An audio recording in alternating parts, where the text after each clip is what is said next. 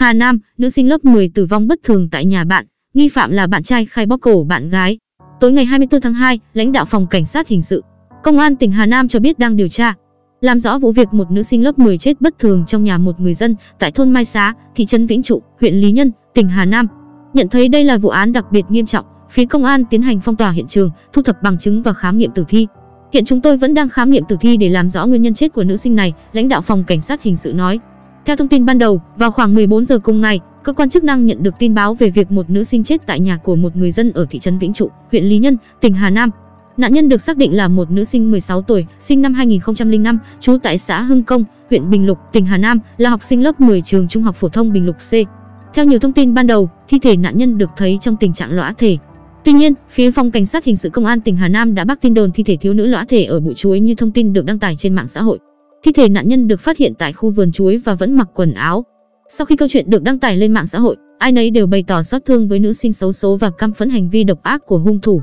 Trong khi vụ án vẫn chưa sáng tỏ, tối ngày 24 tháng 2, mạng xã hội tiếp tục hoang mang khi một tài khoản Facebook nhận là người thân nữ sinh vạch mặt hung thủ. Trong bài viết của mình, người này vô cùng đau xót trước sự mất mát quá lớn của gia đình. Đáng chú ý, anh còn công khai rõ danh tính một tài khoản Facebook có tên H ám chỉ người này là hung thủ sát hại nữ sinh lớp 10. Chỉ vì ép nữ sinh yêu nhưng bất thành rồi nhẫn tâm đánh đập, hành hạ cô bé. Theo thông tin mà người này đăng tải, cư dân mạng đã lùng ra tài khoản Facebook nghi của kẻ sát nhân. Đáng chú ý, dòng trạng thái cách đó 5 giờ với nội dung mọi chuyện dần sẽ qua thôi. Nhớ e. Phía dưới bài viết, hàng nghìn bình luận với nội dung chửi rủa, ném đá nam thanh niên này vì cho rằng có hành vi quá tàn nhẫn, cướp đi mạng sống của một cô gái trẻ chỉ vì cuồng yêu. Đại diện Ủy ban nhân dân huyện Lý Nhân cho biết, hiện công an đang làm việc với một nam thanh niên 22 tuổi, người địa phương, nghi là bạn trai của nạn nhân để xác minh vụ việc. Nơi nạn nhân chết chính là nhà bố mẹ của nam thanh niên này. Một cán bộ có chức trách tại phòng cảnh sát hình sự công an tỉnh Hà Nam cho biết, nam nghi phạm tên Trần Mạnh Hát, chú thị trấn Vĩnh Trụ, huyện Lý Nhân, được xác định là bạn trai cũ của nạn nhân. Tại cơ quan công an, Hát khai nhận hành vi phạm tội của mình.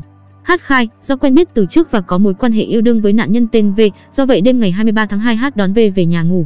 Đến trưa ngày 24 tháng 2 khi biết gia đình đi tìm, vì lo sợ Hát và V thống nhất cùng tự tử, khi Hát dùng tay bóp cổ V đến tử vong và nhảy xuống ao cạnh nhà tự tử nhưng không thành. Sau đó đi ra cầu Thái Hà tiếp tục tự tử thì bị bắt giữ. Hiện nguyên nhân sự việc, lời khai nghi phạm vẫn đang được cơ quan công an xác minh, điều tra, làm rõ.